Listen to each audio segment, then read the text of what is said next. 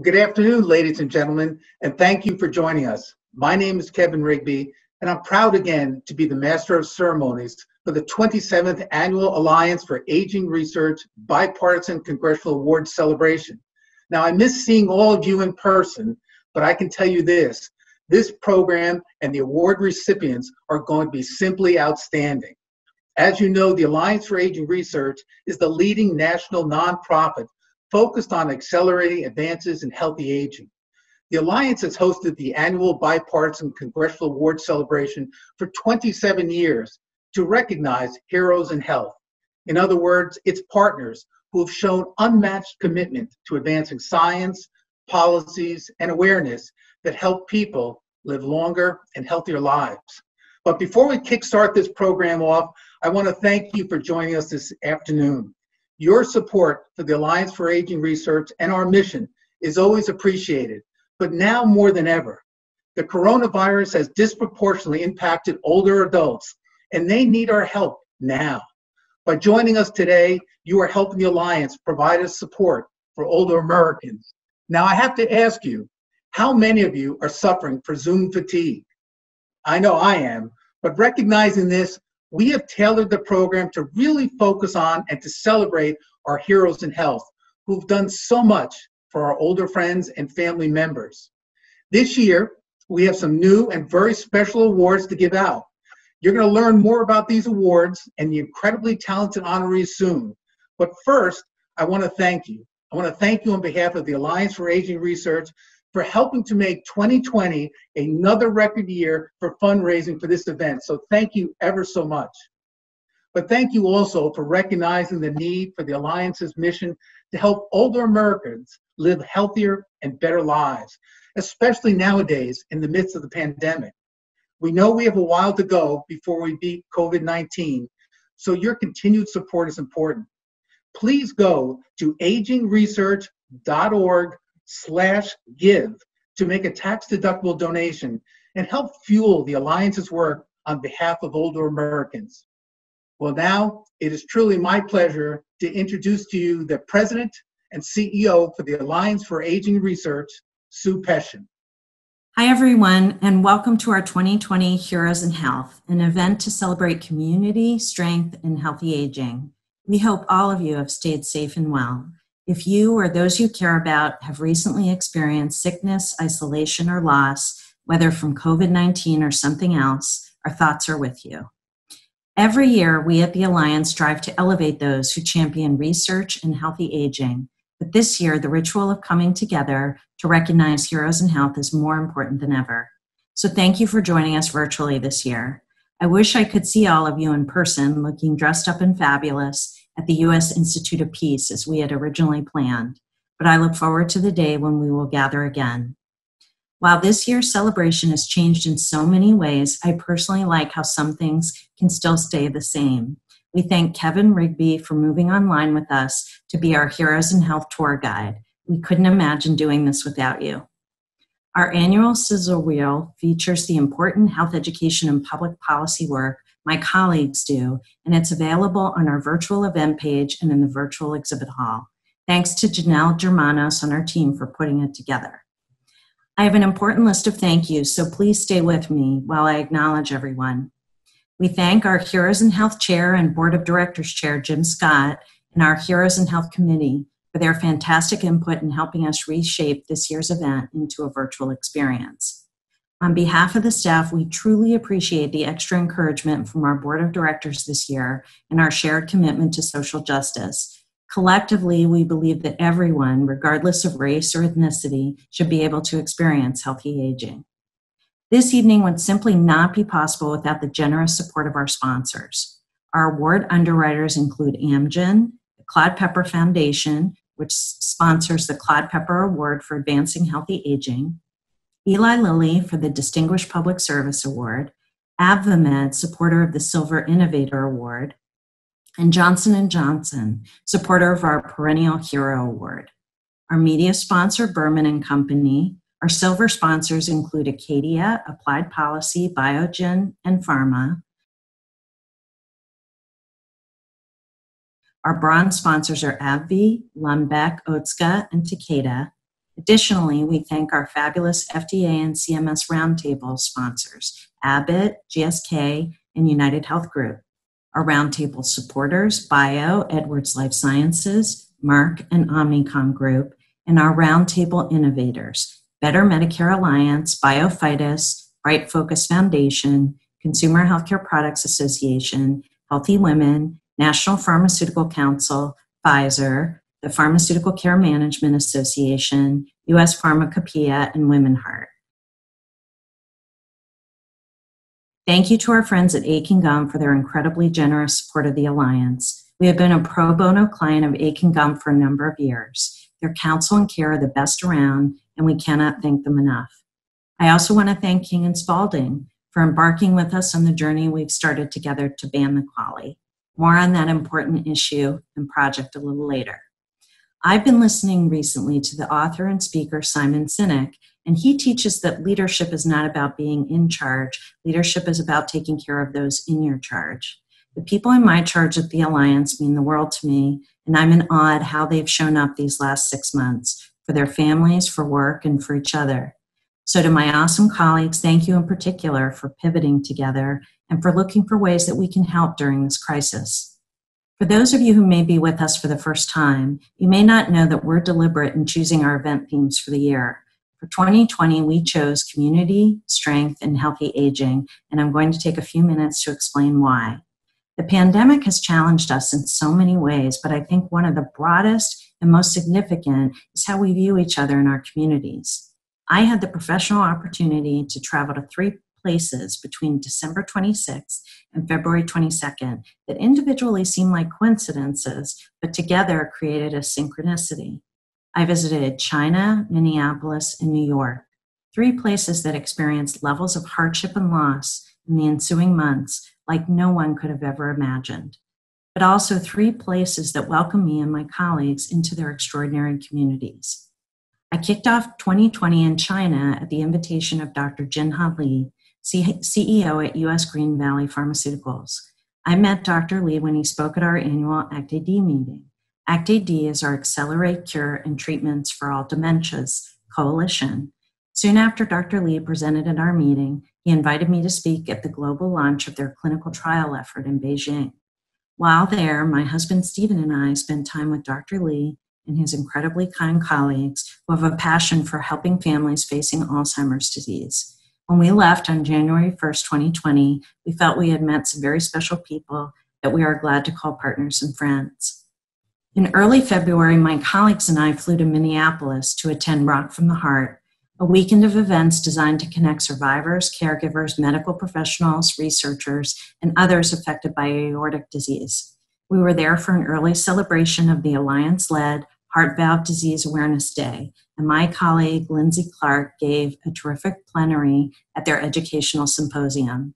We also participated in a VIP reception and concert featuring infamous 80s band Night Ranger and the band that fell to the earth with Rock from the Heart co founder and aortic disease survivor Pete Johnson on the drums.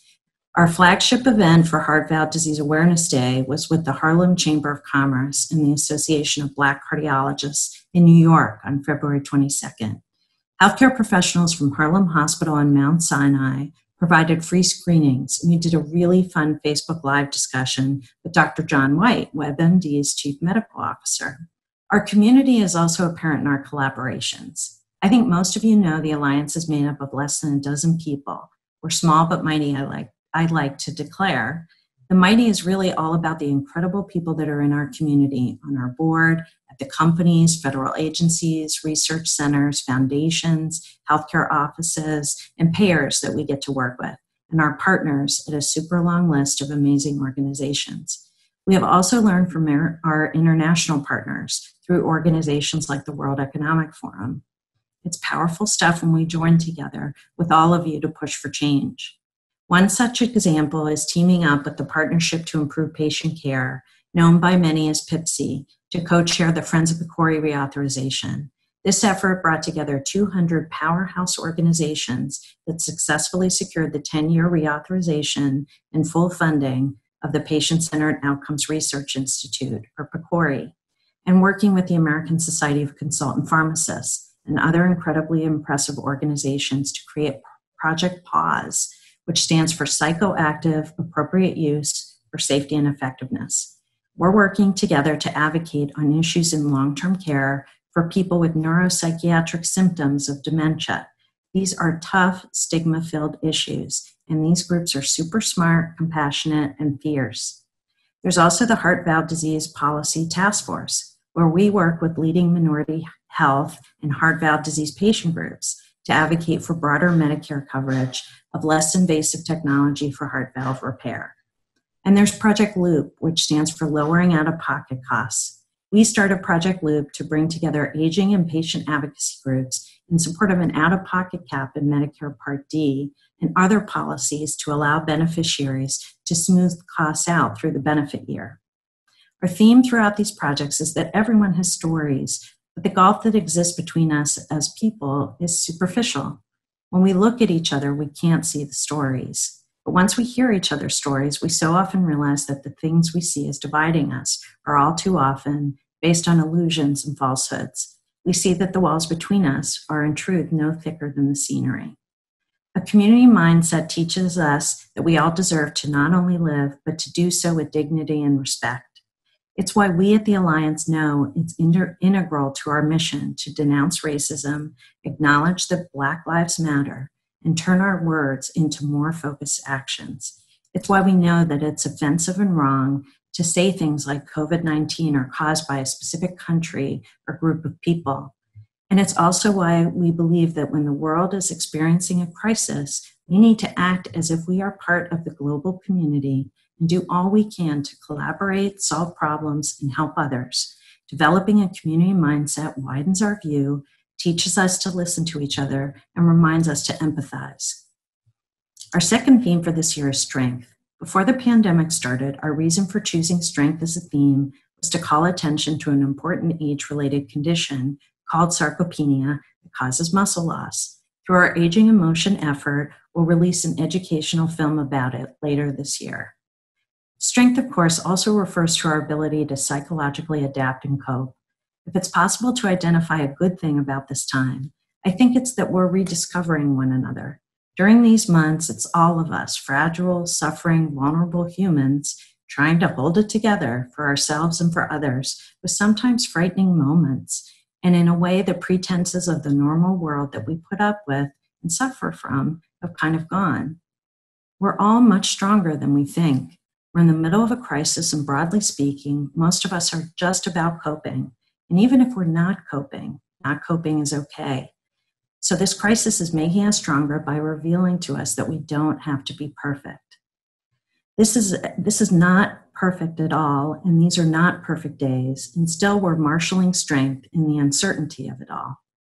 Healthy aging, our final theme that anchors what we do at the Alliance, encompasses many things, what this year has shined a spotlight on is that none of us can do impactful work in aging and health without recognizing and addressing the disparities that exist within it. One overlooked aspect of systemic discrimination in healthcare lies within health economics. Many countries make drug reimbursement and coverage decisions based on cost effectiveness assessments. The effectiveness of a treatment is often determined by a metric known as the Quality Adjusted Life Year, or QALY for short. QALY assessments assign a financial value to patients in relation to an intended treatment. When applied to healthcare decision making, the results mean that some patients, people with disabilities, veterans, and older adults, are often te- deemed too expensive to receive the care that's being evaluated. QALYs are also not able to account for health disparities, which hurts people of color and low income communities this played out in a recent report by the Institute for Clinical and Economic Review, known as ICER for short, on treatments for sickle cell disease, which primarily imp- impacts Black people. The real life application of adopting this methodology is that most, most insurance companies don't cover new treatments for sickle cell disease easily or at all.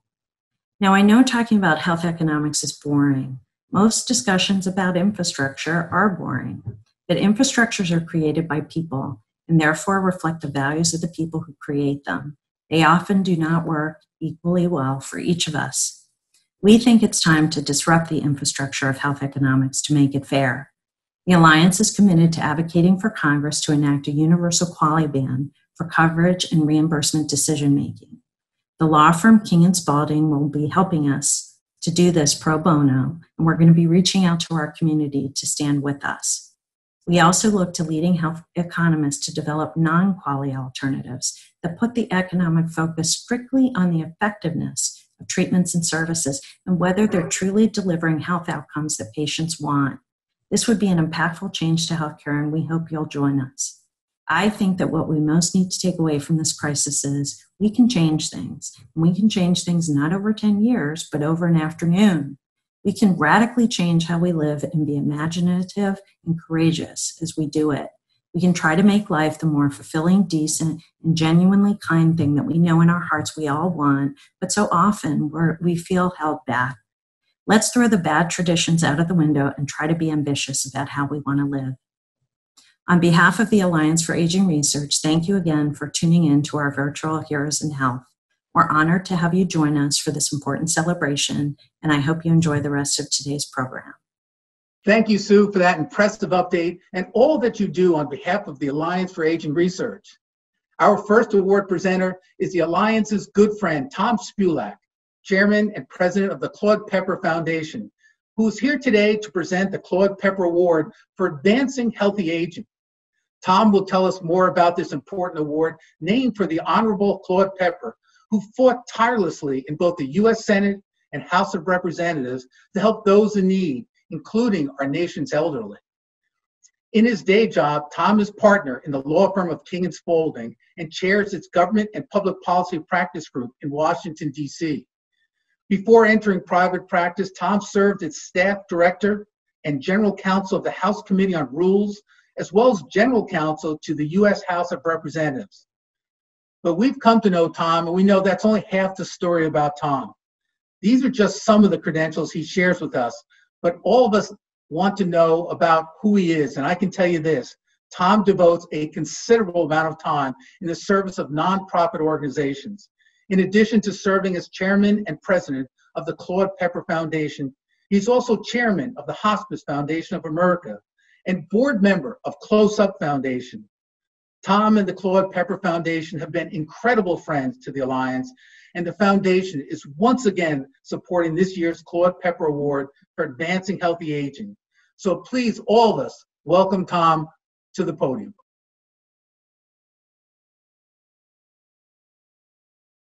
Welcome.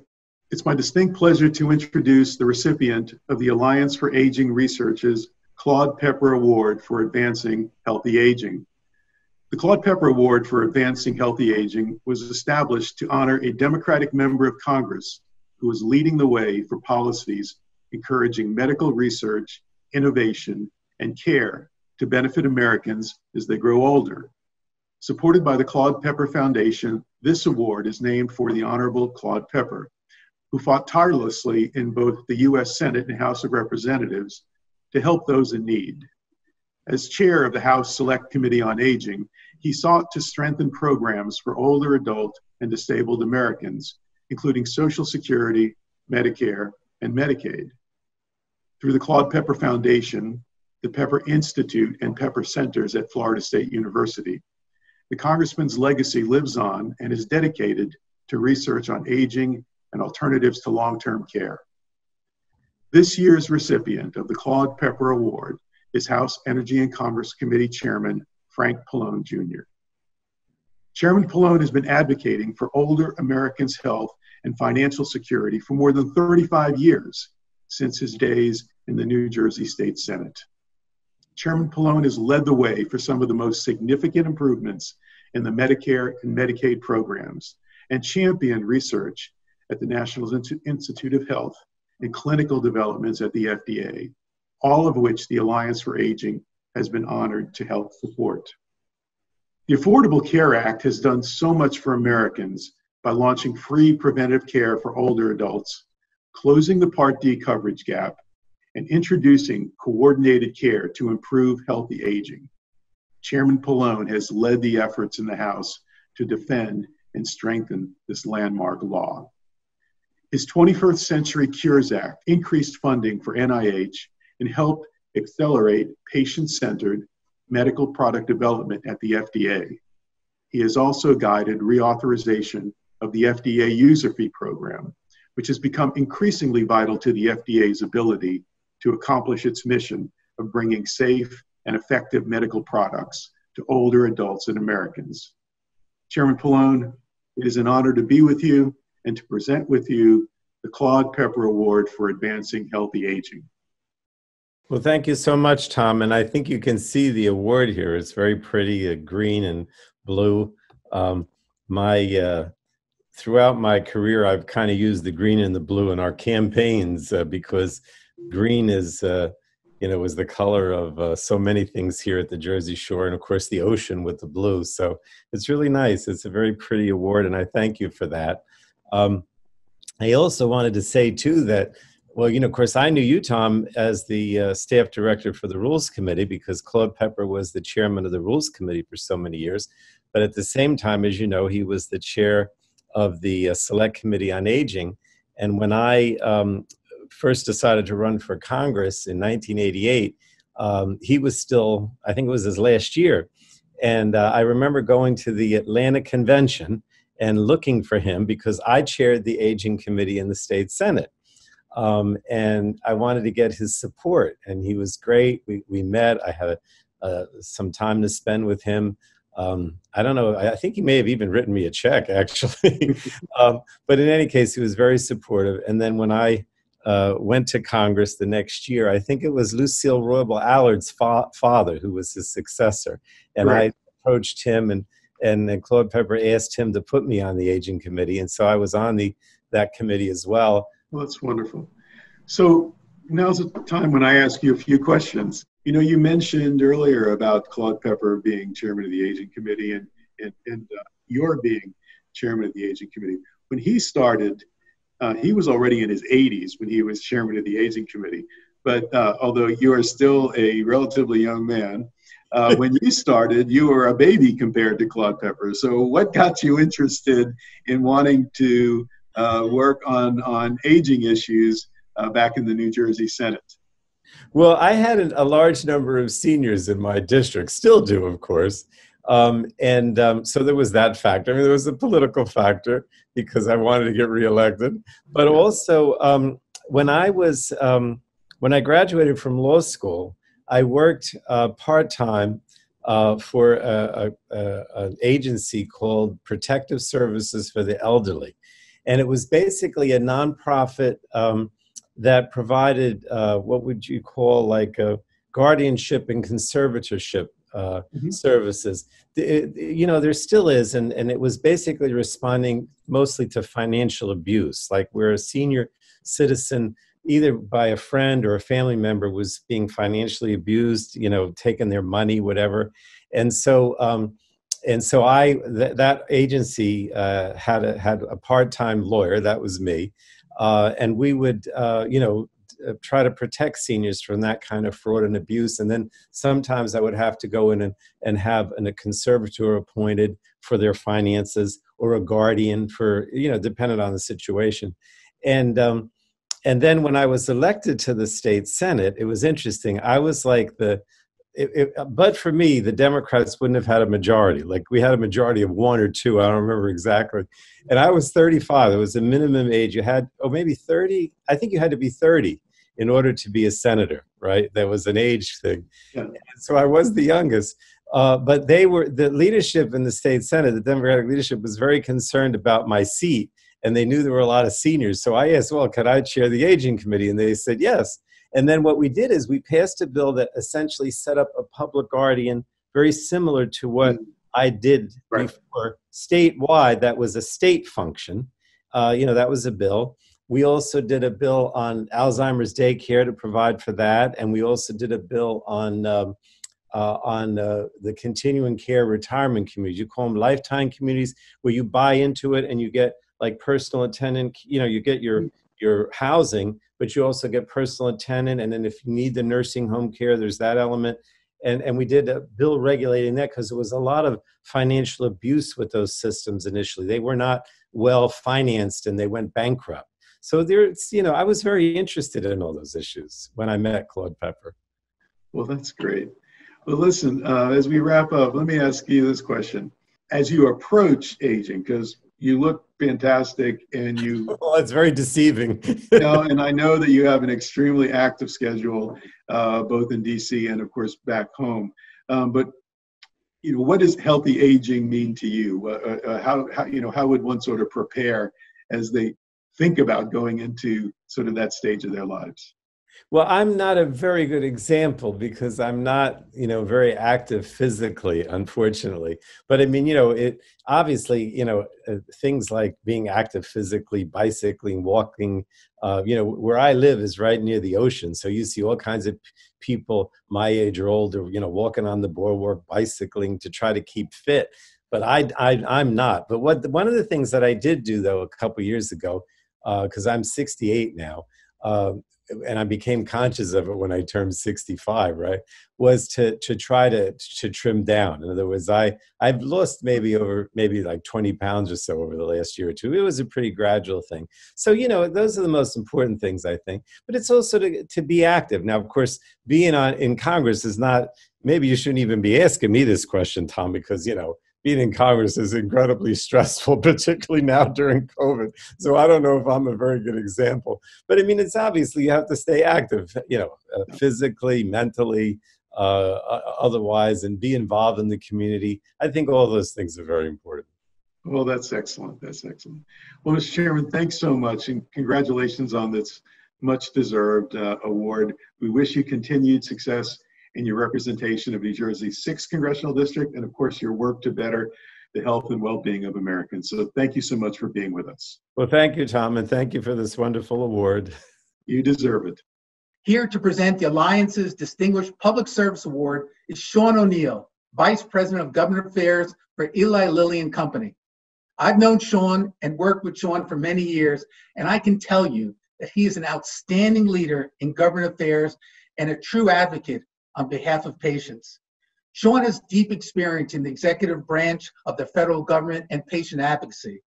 Prior to joining Lilly, Sean ran the federal government affairs operation at Novartis Pharmaceuticals, where he was responsible for directing and implementing legislative and regulatory strategies. In his position at Lilly, Sean serves as the head of Lilly's government affairs, including federal, state, alliance, and PAC activities. We want to thank Eli Lilly and Company for support of the Distinguished Public Service Award. And now, Sean, you're up.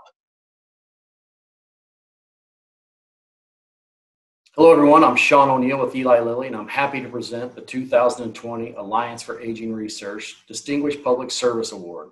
The award is given each year to a Republican member of Congress who is leading the way on policies encouraging medical research, innovation, and care to benefit Americans as they grow older. This year's award honors Congressman Gus Bilirakis, who has represented Florida in Congress since 2007. Through his leadership on the House Energy and Commerce Committee, Congressman Bilirakis has been an advocate for disease research and care issues that disproportionately impact older adults. He serves as an active co-chair on the House Congressional Caucus on Parkinson's disease and has spoke personally about his family's experience with PD when the Alliance released the Silver Book, Parkinson's Disease, with the Michael J. Fox Foundations for Parkinson's Research.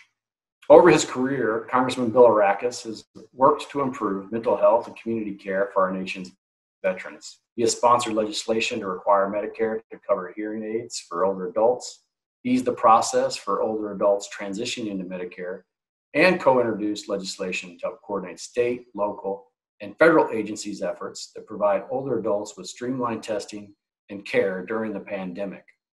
Recently, Congressman Bilirakis introduced legislation to allow Medicare and Medicaid to reimburse for behavioral health services delivered via telehealth. The legislation seeks to address mental health provider shortages, which in some parts of the country delay patients from seeing uh, psychiatrists for months. He's also supported bipartisan legislation to increase the ability of nursing homes to utilize telehealth for virtual visits for residents unable to see their friends and loved ones during the pandemic. Most recently, he's also advocated to increase awareness and reduce the stigma associated with COVID 19, always in support of what the science says. Congressman Bilirakis, it's wonderful to be here with you today and present the Distinguished Public Service Award to you. Congratulations. Thank you very much. I really appreciate that very much. Uh, I do have some prepared remarks as well. Our seniors do really represent the greatest generation, that's for sure. And I believe we owe it to them to do all we can to empower them to live life to the fullest while providing a safety net for those who may need additional help. First and foremost, I believe we must help our seniors during this pandemic. We want to make sure that each state is following the CDC and CMS guidelines for keeping vulnerable populations, particularly those in long term care facilities, safe. And I think we've done a good job here in the state of Florida. I've co authored the Protecting the Health of America's Older Adults During COVID and Beyond Act which will fill the gaps by fostering collaboration among sectors, including the identification and dissemination of evidence based practices to assess the most vulnerable older adults, limit exposure of adult, uh, older adults and their caregivers to the COVID 19, of course, and better care for older adults who are infected. Additionally, the Health Healthy Aging Grant Program through the CDC created in this bill would support local and state public health departments to promote older adult health and well-being so very important as well as provide resources to this vulnerable community. Additionally i've supported massive increases to the meals on wheels program to make sure more seniors have access to nutritional meals uh, throughout the pandemic. We've also closed the donut hole, which was an important step to help seniors. We must also work to ensure the long term sustainability of Medicare and Social Security. We also must protect against scamming behaviors. Last year, we passed the, tra- we passed the TRACED Act, which has reduced robocalls by 60% in the past six months. Congratulations again. Thank I you. would like to ask you a few questions uh, on Sure. the work you're being recognized for. And I think you started to touch on some of these, but giving your leadership on promoting policies that encourage medical research, innovation, and care to uh, benefit Americans as they as they grow older. What are some of the most pressing issues you see now for older adults? Well, uh, first of all, you know, the COVID 19, obviously, uh, and the, the, the isolation issue. Uh, and that's why it's important that uh, they have access to, to mental health uh, treatment. I, I'm concerned, uh, you know, when an elderly patient has Alzheimer's or, for example, Parkinson's, you know, the caregivers uh, you get caregivers, and, and even if you have long term care insurance, it doesn't cover everything. Uh, and and that's so important. There are a lot of issues facing our elderly, and I that's why I wanted to I want to have this uh, this separate select committee in the House, like we did. My my father, who served for many years in Congress, uh, was part of that select com- uh, committee early on. You know, you talked about you talked a little bit about your your efforts to allow Medicare and Medicaid to reimburse for Yeah. behavioral health services through telehealth or remotely. Why is this such an important issue for healthy aging in your mind?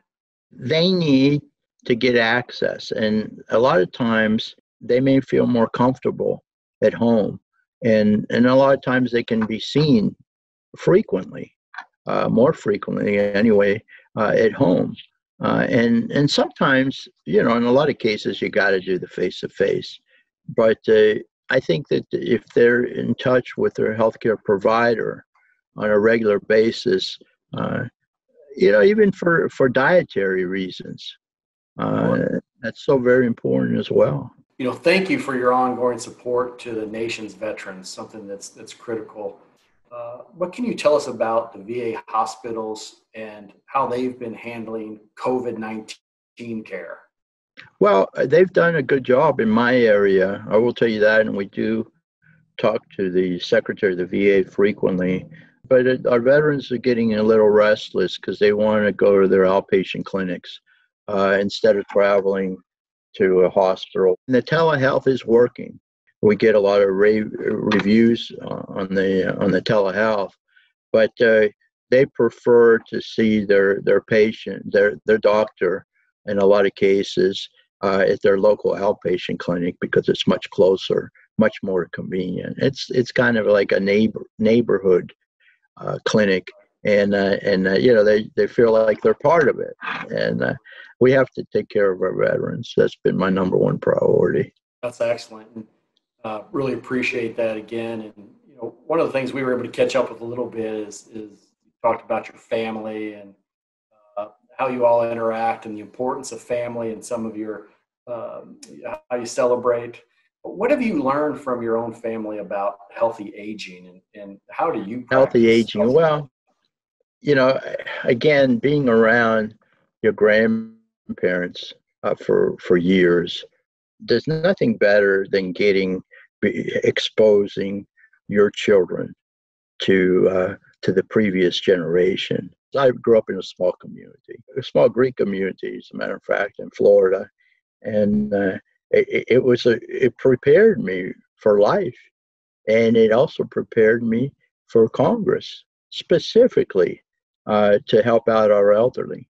That's excellent, and um, you know I think a lot of your experiences we all can relate to with. Uh, uh, our families aging, with with exposing uh, our uh, children and, and young family members to them to to learn as you as you've mentioned and and to just witness uh, learn from them and learn and witness uh, the process and and uh, the camaraderie and help that comes along with family and and uh, is important and you know some of our grandparents in my case my grandparents were immigrants and they appreciated this country so much uh, because they saw what it was like on the other side. They didn't have opportunities uh, in their home countries.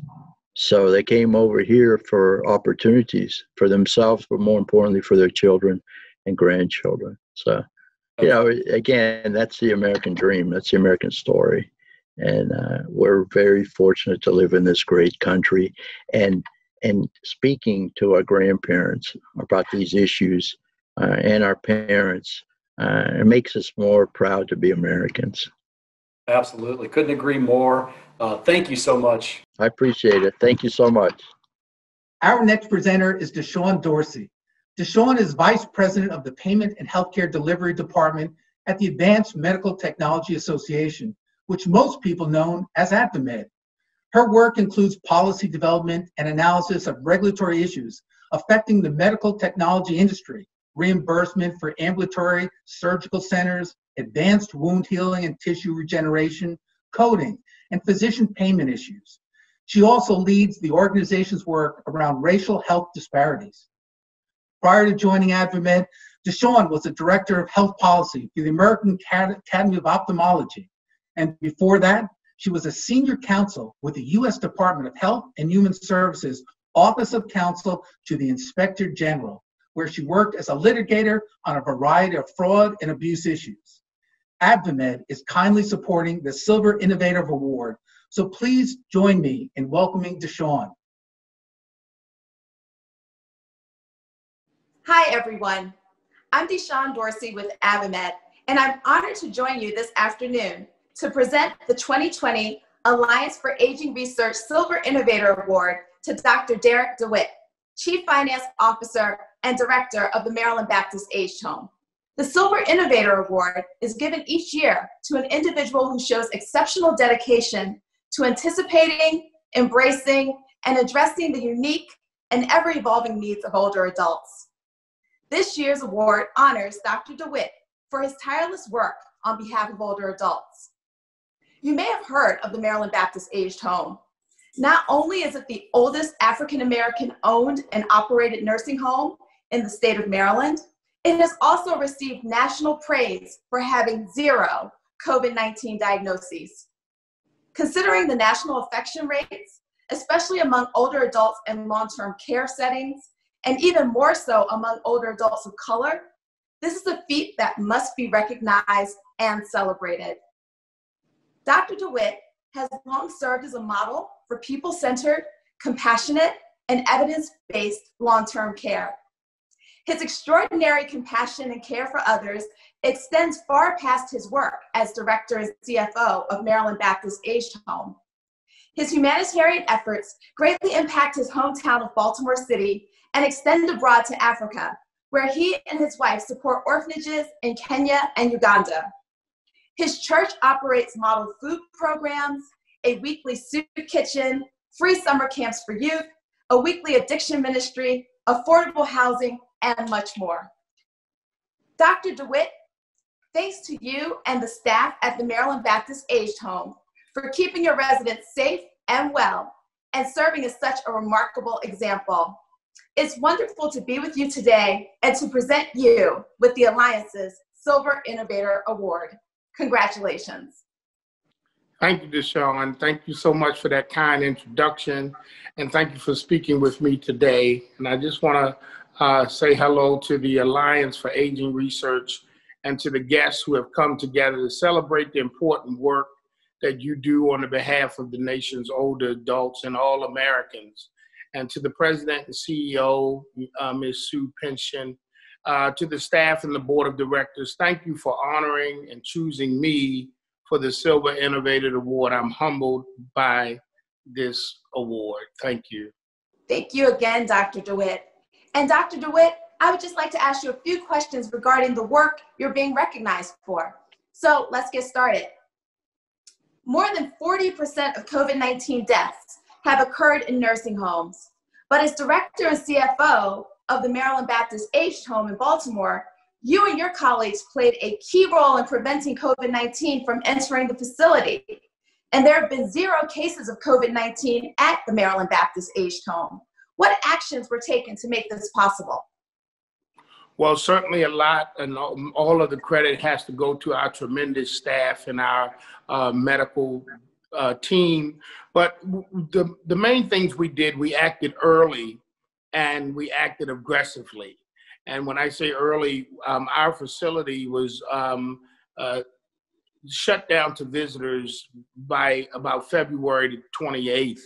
So um, that was real early. And then we were very aggressive in our um, in in our uh, preparation in that we had a very stringent uh, quality control measures and infection control measures in place already.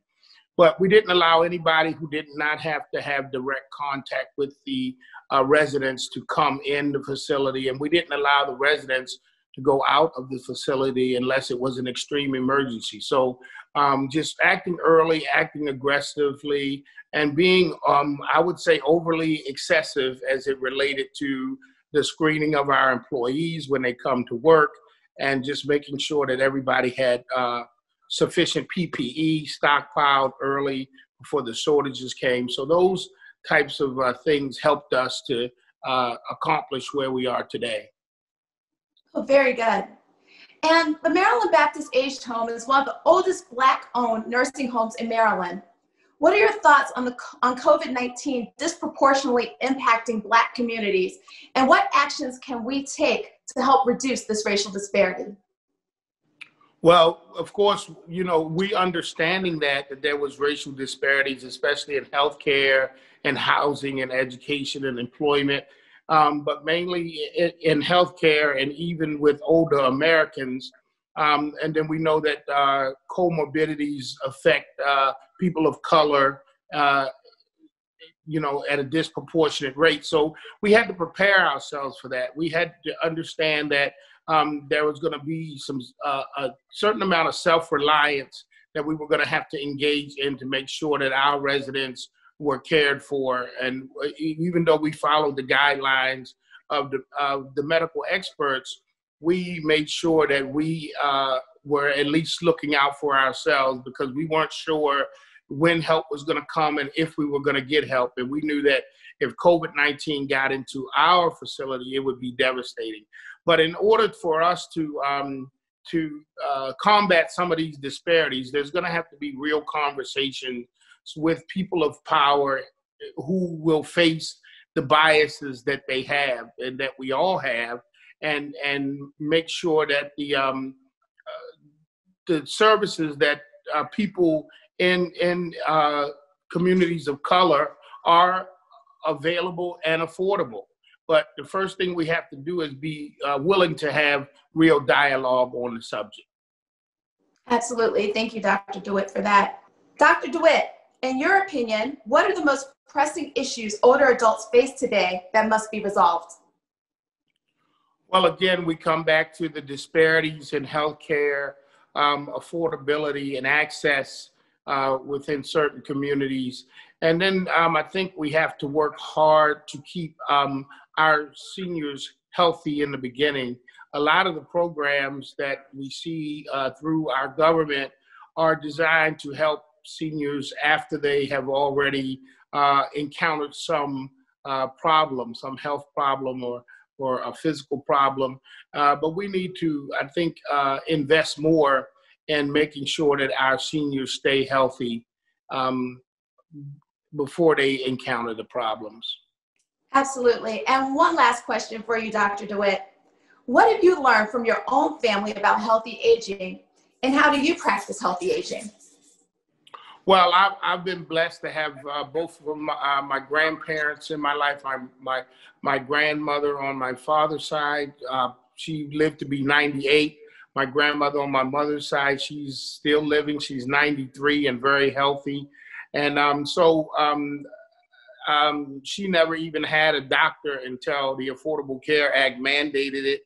So um, I've learned from them that you have to, one, stay very active um, which I think is important for our seniors to keep them active, keep their bodies active, keep their minds active, and two, then everything in moderation. As Grandma always said, um, it's, it's, not what you do, it's how you do it. And um, if you have uh, um, uh, things that you do that will abuse your body, you'll end up paying for it in the end. So just stay active and do everything in moderation. And um, and I think my grandmother's one of the successes that they always taught me is uh, to always keep God first, and that will also help you to have a long and healthy life. Absolutely. Thank you, Dr. DeWitt. And thank you so much for your time and for your incredible work. And congratulations again on this much deserved award. Great talking with you. Thank you. And thank you so much for having me. God bless. Now we have a very special message from our 2020 Excellence in Leadership for Older Adults Award honoree, Maryland Governor Larry Hogan. Governor Hogan has been open about his own personal experience as a patient navigating his cancer treatment and raising awareness of the importance of supporting medical research. Professionally speaking, Governor Hogan wears many hats, including one as the chairman of the nonpartisan National Governors Association, which represents all 55 US states, territories, and commonwealths. On the state level, his commitment to Maryland and its residents hasn't gone unnoticed. During his November 2018 reelection, he received the most votes of any Maryland gubernatorial candidate, and he fights on behalf of the Maryland's oldest residents.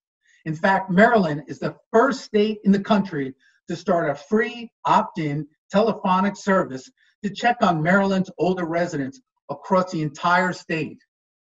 In response to the unprecedented COVID 19 global pandemic, Governor Hogan took some of the earliest and most aggressive actions in the nation to prioritize the health and safety of Maryland residents. Under Governor Hogan's leadership, hospital surge capacity was expanded in record time. Testing capacity was exponentially increased. Millions of units of personal protective equipment were acquired, and a robust contact tracing operation was launched in order to find and fight the virus. Well, if this work as governor wasn't enough to keep him busy, the NGA chairman, the governor led more than 50 calls with the nation's governors, the president, and or vice president, and members of the White House Coronavirus Task Force. Under Governor Hogan's leadership, the NGA successfully pushed for funding to support the National Guard's COVID 19 response missions, convinced the federal administration to invoke the Defense Production Act to produce ventilators and swabs, and achieve greater flexibility in federal CARES Act funding. Governor Hogan Thank you for everything you've done and for all that you continue to do for your state and for our country. I'm Maryland Governor Larry Hogan, and I'm so honored to join the Alliance for Aging Research today. I want to sincerely thank President and CEO Sue Peschin, your staff, the Board of Directors, for this very special award for excellence in leadership for older adult health. The COVID 19 pandemic has impacted every facet of our lives, from the way we work, travel, and communicate with our loved ones, to the way we hold events, just like this one. This is especially true for older Americans. After the tremendous actions we've taken and all the incredible progress we've made, it is more critical than ever that we remain vigilant and continue taking the steps that we know will help stop the spread. Our administration remains fully committed to safeguarding the health and well being of Marylanders of all ages. And though we may not know what the weeks and months ahead have in store, I do know that we will do what Americans have always done in times of crisis. We will get through this together, and we will come back stronger and better than ever before. Thank you again, and may God bless each and every one of you. Our next presenter is the founder for the Alliance for Aging Research, Alliance board member, and my close personal friend, Daniel Perry. Now, because of Zoom etiquette rules, I'm not at liberty to share some of the stories about Dan Perry. But what I can say is that Dan founded the Alliance for Aging Research in Washington, D.C. 1986 the Alliance soon became the leading U.S. citizen advocacy organization for promoting a very broad agenda of medical and scientific research to improve the health and independence of older Americans. Dan retired in 2015, but fortunately, he now serves the Alliance as both founder and a member of the board of directors. In 2016, this award was named for the Daniel Perry Founders Award in honor of Dan's invaluable contribution to aging research. I have to say that Dan is one of the most visionary, charismatic, and impressive persons I know. And I'm proud to say that the most important thing to me is that I can call him my friend. So, Dan, I proudly turn it over to you. Hi, everyone. I'm Dan Perry founder of the Alliance for Aging Research. Today, I am speaking with Dr. Jack Guralnik of the University of Maryland School of Medicine, where he is currently professor of epidemiology and public health.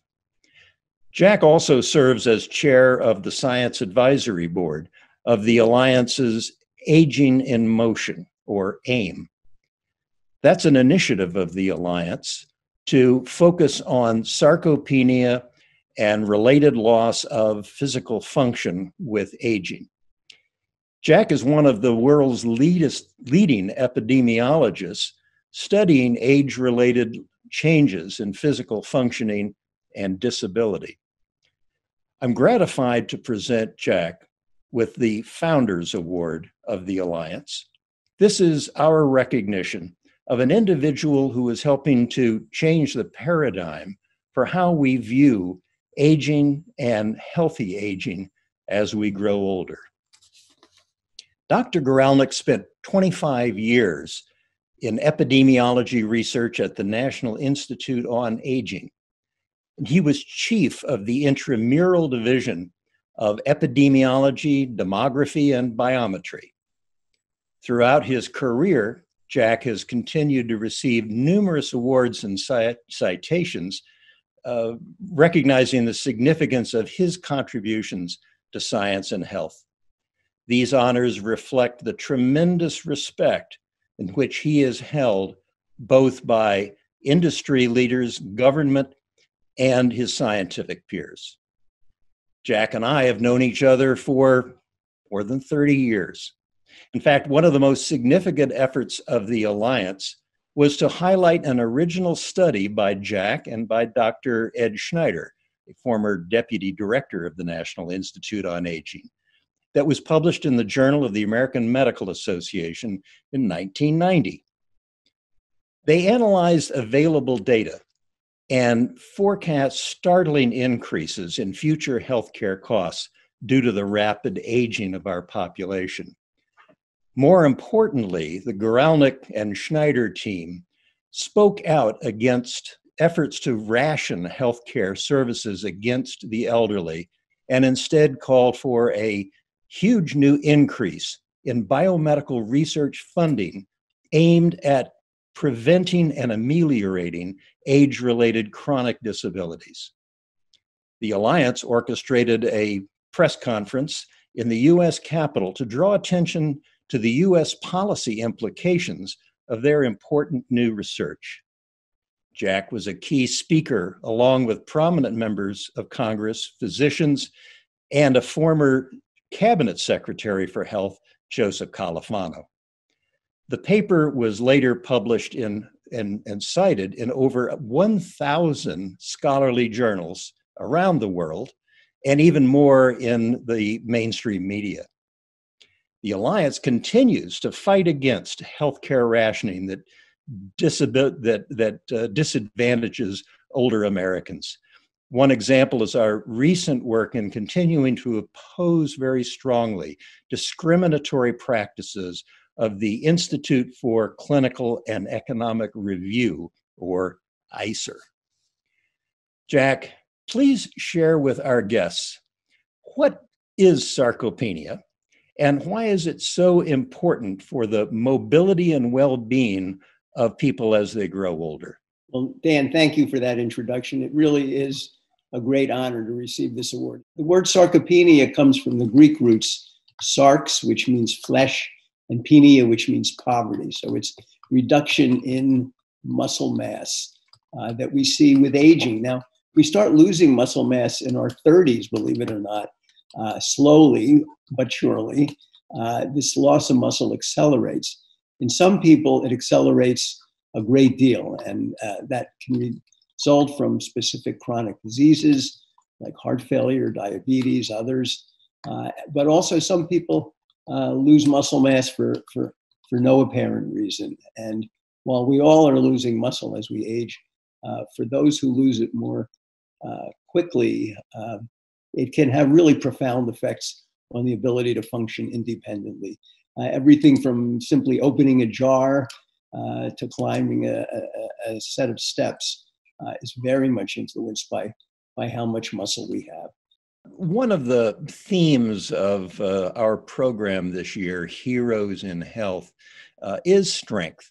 And that was chosen in large part uh, to reflect your important work to help reduce the impact of physical frailty on older people.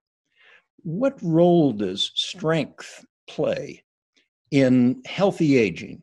And what advice can you give people who are listening to uh, our discussion to help them stay stronger as they grow older? Yeah, these are lots of very, very good questions. Um, first of all, I was just talking about muscle mass. Uh, the relationship between muscle mass and strength, of course, is very important. Um, most of our strength decline comes from from losing muscle, but there are other things that influence uh, strength as well. We we need to uh, innervate the, the, the muscles with the peripheral nerves to stimulate them to contract. You need to you need to, de- deliver oxygen and nutrients to muscles. The uh, biology of muscles has to work in a way that you get good strong contraction. So while mass is important, there are other things going on, and it becomes a, a more uh, complicated and more interesting issue of, of what affects strength. Maintaining strength, as as you mentioned, is a, a really important factor in maintaining healthy aging.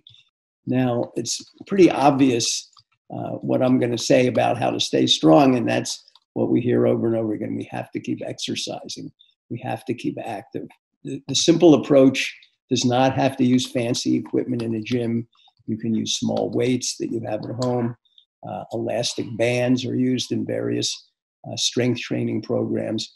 And even simple things like rising from a chair uh, and, and walking will contribute to strength. That's great advice. And I know you have really laid down the strong scientific foundations underneath a lot of those recommendations that are now reflected by the NIA uh, and others.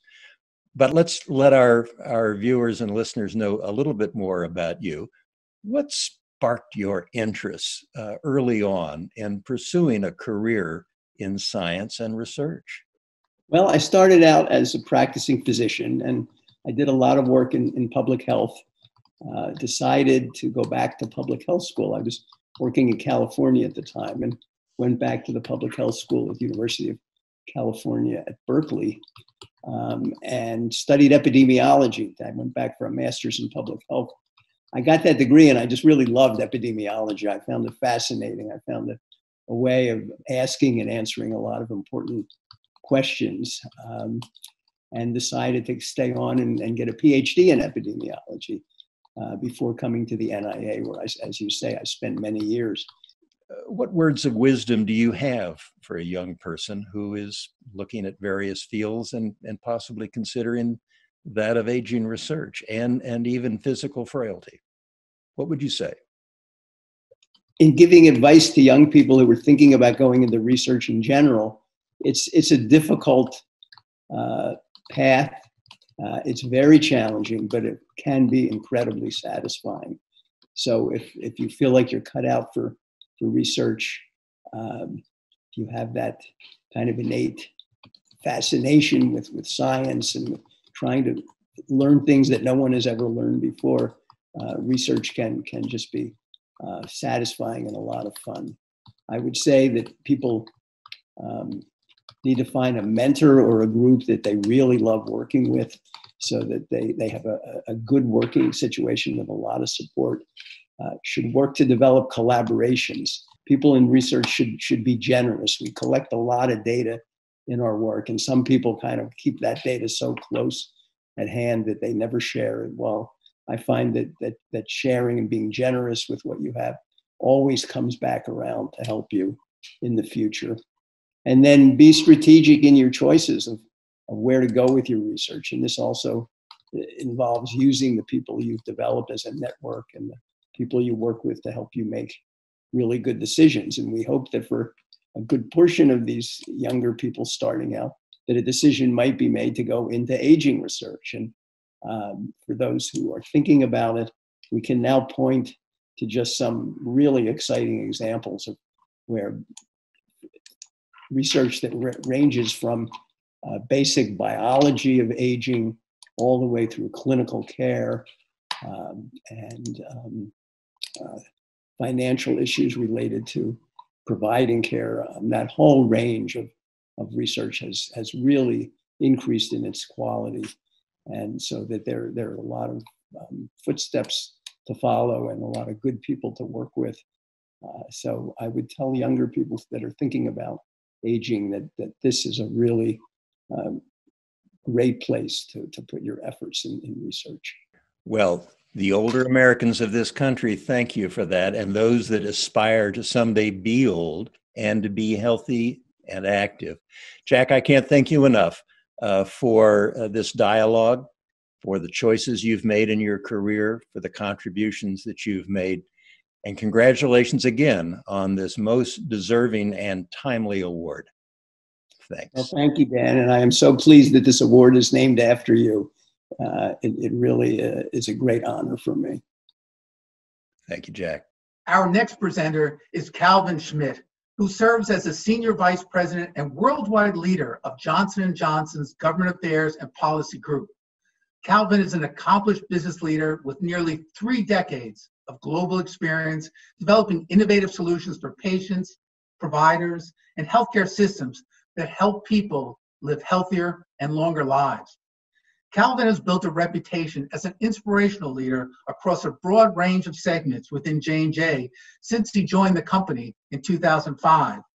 What is particularly impressive about Calvin is his management style. For, for him, it is all about being rooted in diversity and inclusion and he has a deep appreciation for innovation that's driven by the collaboration of people from many cultures, backgrounds, and experiences. Calvin's commitment to improving health and healthcare goes well beyond his day to day work. He was appointed to the Foundation of Overseas for Children's Hospital of Philadelphia. He also represents J&J on the Healthcare Leadership Council. And last year, we were fortunate to have Calvin join the board of directors for the Alliance for Aging Research. We sincerely thank Johnson & Johnson for kindly supporting this year's Perennial Hero Award. So let's all welcome Calvin Schmidt. Hello, everybody. My name is Calvin Schmidt, and I am thrilled to present this year's Perennial Hero Award. Uh, it was created to honor older individuals who are actively contributing to create positive societal change and serve as role models for people of all ages. Dr. Laura Carstensen, the founder and director of the Stanford Center on Longevity, wrote about this term in the Washington Post saying, the symbolism it connotes is perfect. For one, perennials make clear that we're still here, blossoming again and again, and it also suggests a new model of life in which people engage and take breaks, making new starts repeatedly. Perennials aren't guaranteed to blossom year after year, but given the proper conditions, good soil, nutrients, the love they need, they can go on for decades. You know, for me, it is really, really aspirational. So I'm thrilled to present this year's Perennial Hero Award to Geri and Jim. Geri and Jim Taylor, that is, for their inspiring second careers as advocates for Alzheimer's disease. Uh, the research in this area, care and support for people with the disease, and families as caregivers. Geri was diagnosed with Alzheimer's disease in 2012. And since that time, the couple have spoken to over 10,000 people around the United States and in Europe in order to educate others about the disease. They've not only reduced the stigma, encouraged participation in Alzheimer's clinical trials, but the New York Times published an acclaimed 12 page article, Fraying at the Edges as a special section of the paper on May 1st, 2016, about Geri's journey with Alzheimer's disease. In addition to their speaking engagements and other educational efforts, Geri and Jim are actively engaged in several national Alzheimer's projects, serving on executive steering committees and FDA panels to review drugs and devices representing the needs and perspective of patients and family caregivers. They have also been a supportive, very supportive of the Alliance's Talk Nerdy to Me program as students, teachers, and now ambassadors. One of my favorite programs that the Alliance offers. Their most recent project is co-founding Memory Advocates Program, known as MAP. It's a peer-to-peer support organization to assist newly diagnosed individuals who have cognitive issues and their care partners. Trained volunteers will bring emotional support, information regarding online resources about the disease, information about local support services, and assist clients in finding a clinical trial if the clients are interested. A New York City pilot partnering with New York City's CaringKind and NYU Medical School neurologists will hopefully begin as early as next year. Jerry and Jim it is so wonderful to be with you today and to present the Perennial Hero Award to both of you. Big, big, big congratulations. You know, you both went through the Alliance's Talk Nerdy to Me training, first as participants and then as expert speakers. You know, what did you learn from the training?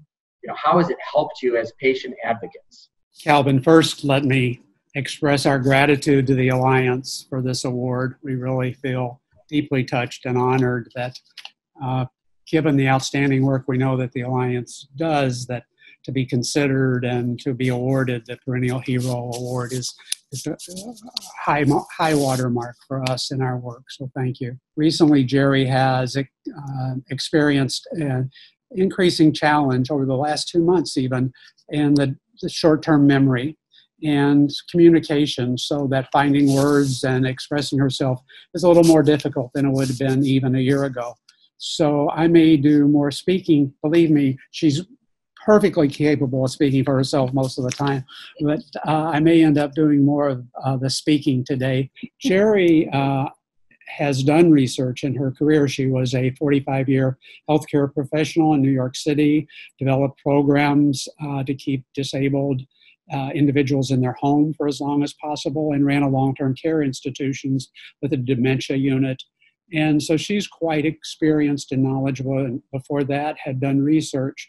But for me, it was really uh, the opportunity to learn, particularly about the FDA drug development process and the uh, safety requirements that accompany the development of drugs and devices to advance uh, cures for and disease modifying treatments for Alzheimer's was very, very important. But actually, the main thing I took away, Calvin, was something different. We had two or three, three or four different disease representatives in the room. We were Alzheimer's, and there were several other diseases. But one particular lady uh, had founded a national support organization for chronic pain sufferers eight to 10 years prior. And other chronic disease sufferers in the room uh, gave testimonials to what a tremendous gift she had been to them. And this lady did not have a medical, did not have medical or research experience.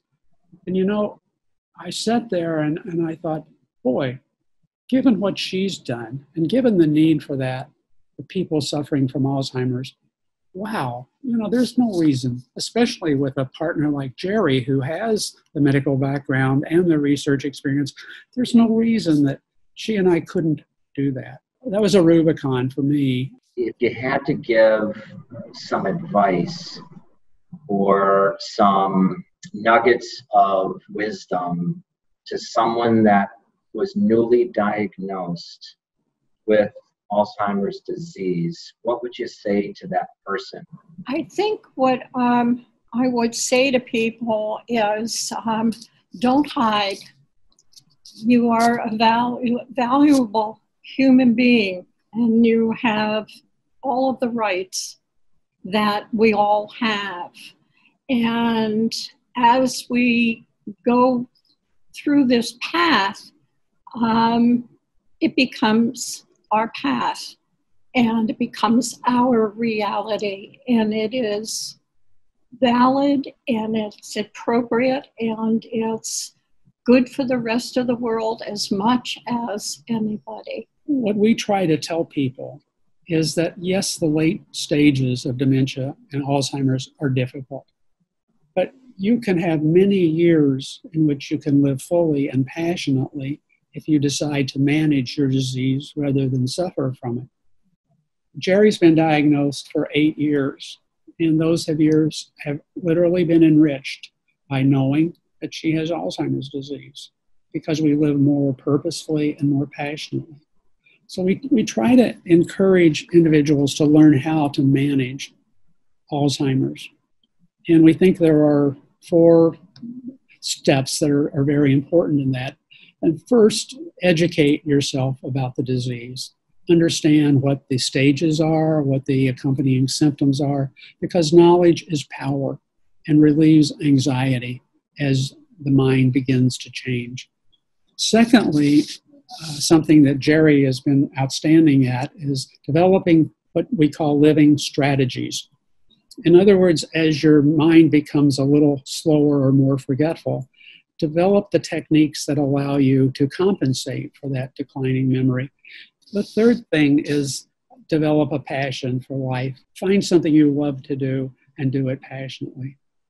And then finally, uh, is to consider joining research in an Alzheimer's drug trial.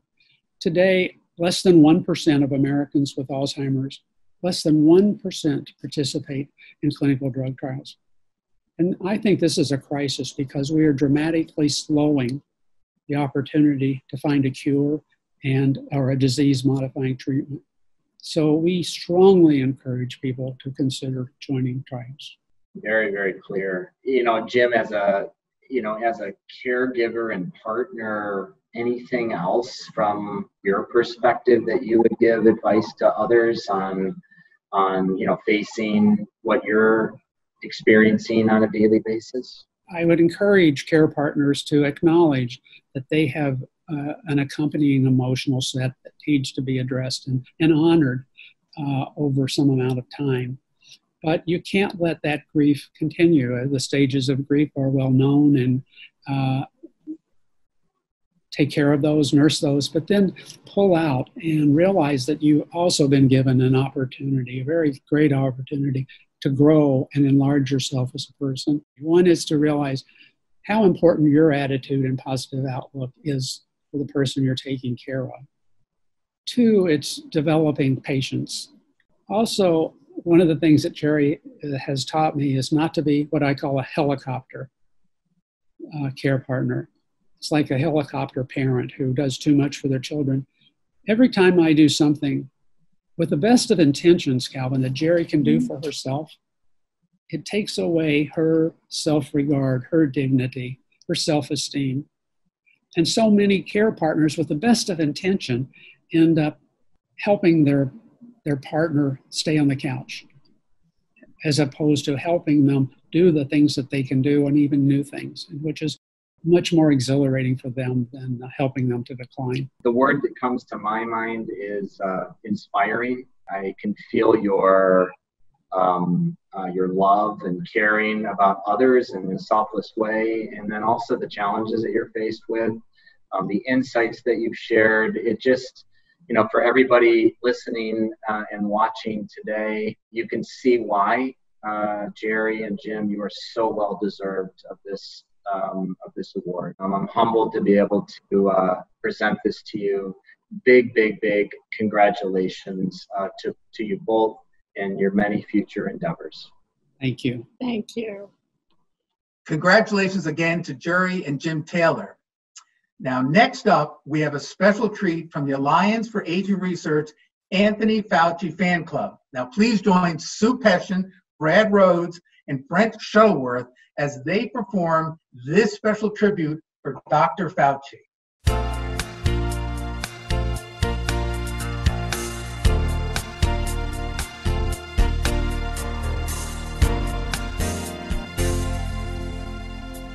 We needed a guy with degrees who read the stuff on his bookshelves. Watching Netflix all day. We sure did get sick of ourselves. Believe it or not, we made sourdough. We wore pajamas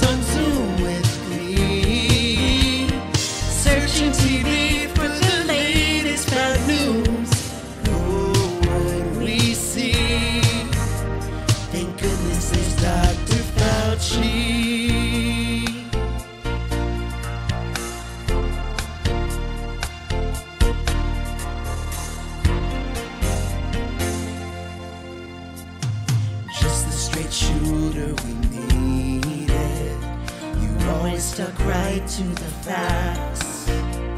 Expressing concern about unproven drugs. All your statements are evidence backed.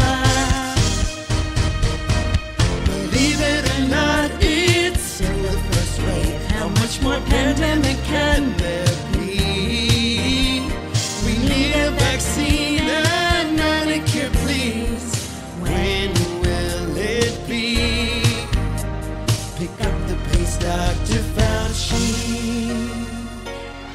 too nerd to be true.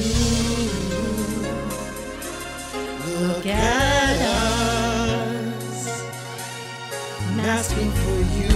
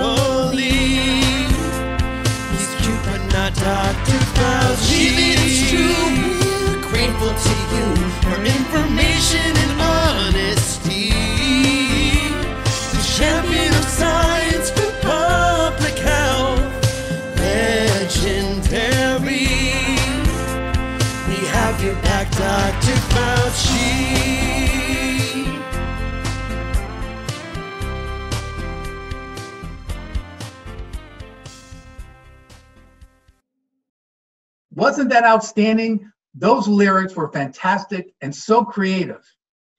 Our next and final award is new for 2020. The Champion of Science Award is presented to an individual who has demonstrated courage and integrity in the pursuit of science that protects the lives of older adults and all Americans. And our honoree really doesn't need much of an introduction since he is a household name. Dr. Anthony Fauci has served as the director of the NIH National Institute of Allergy and Infectious Diseases since 1984. He oversees research to prevent, diagnose, and treat established infectious diseases such as HIV/AIDS, respiratory infections, diarrhea diseases, tuberculosis, malaria, as well as emerging diseases such as Ebola, Zika, and lately the coronavirus pandemic. Dr. Fauci has worked tirelessly to convey honest public health messaging to the American public. In the midst of the pandemic, he has tried to create a much needed sense of trust that has given comfort to a lot of people through very challenging times.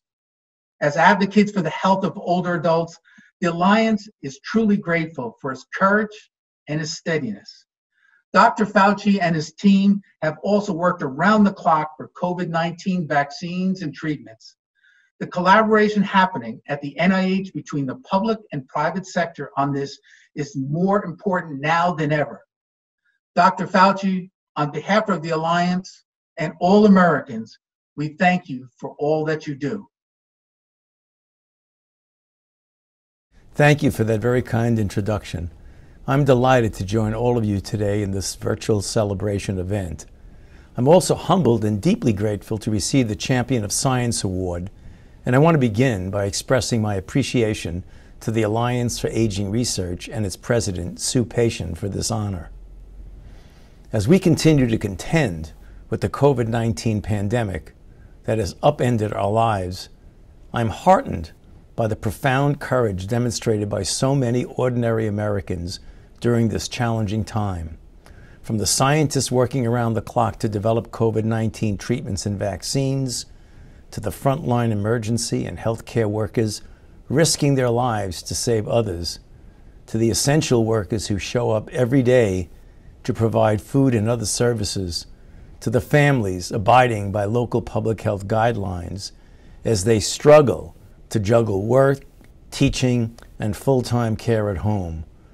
All of us are being tasked in one way or another to dig deep and be strong, resourceful, compassionate, and resilient. And so, while I am honored that the Alliance for Aging Research selected me, I ask us to honor all the everyday American heroes who also have shown courage and integrity during this public health crisis. As a proud member of the Alliance's intended population, I am 79 years old, I applaud your attention to older adults and healthy aging. Your focus has always been critically important, but it is especially vital now during this pandemic where older individuals, and especially those with certain pre existing health conditions, are at increased risk of serious COVID 19 outcomes. Your promotion of evidence based information provides both practical guidance and comfort in anxious times, and you and many other health advocacy groups have risen to the occasion to provide that. Our country's journey back to some sort of normality will be neither fast nor easy, and uncertainties lie ahead, especially this fall when seasonal flu and pneumonia may complicate our response to the COVID 19 pandemic. I urge everyone to get their flu shot and, as appropriate, to talk to your doctor about whether you need the pneumonia vaccine. By adhering to recommended vaccinations, we not only protect ourselves, we also protect others, especially the most vulnerable. To successfully protect all Americans from familiar as well as newly emerging infectious diseases, we must overcome vaccine hesitancy and ensure that all people have access to safe and effective preventive vaccines. Thankfully, the Alliance for Aging Research has an impeccably strong network of partners because we are all in this together, and together we must vigorously defend the value of proven vaccines for public health and promote accurate, science based information about them. And so, please wear a face covering, wash your hands often, and keep a safe distance, but stay connected and hopeful too. Your individual courage is essential to surmount the daily challenges this pandemic poses. But essential too is your courage to be a champion of science. Science is the pathway to the tools that will one day enable us to see COVID 19 in the rearview mirror. Thanks again to the Alliance for Aging Research for this award. I am deeply grateful and pleased to be your partner in healthy aging, and please, everyone, stay well. Thank you, Dr. Fauci, for your insightful and inspiring words. Well, we've come to the end of the program. We want to thank you for joining us at the Virtual Heroes in Health Annual Celebration, and more importantly, for celebrating and supporting the Alliance for Aging Research. Congratulations again to our 2020 honorees. We do have to give a special thanks to our official media sponsor, Berman and Company, for their help in making today's virtual program possible. Congratulations to the Alliance for its ongoing work to improve the universal health experience of aging and health. But let's also congratulate someone else, someone who doesn't ask for it but truly deserves it, and that's Sue Peschin for her leadership, her advocacy, and most importantly, her effectiveness pushing the scientific breakthroughs on behalf of seniors and all patients. So, Sue, our hearts go out to you and deep with deep appreciation. We do want to tell you this to learn more about the Alliance projects, visit our booths in the exhibit hall or online at www.agingresearch.org. So, as we conclude, thank you again for joining us. Please stay safe, healthy, and be well.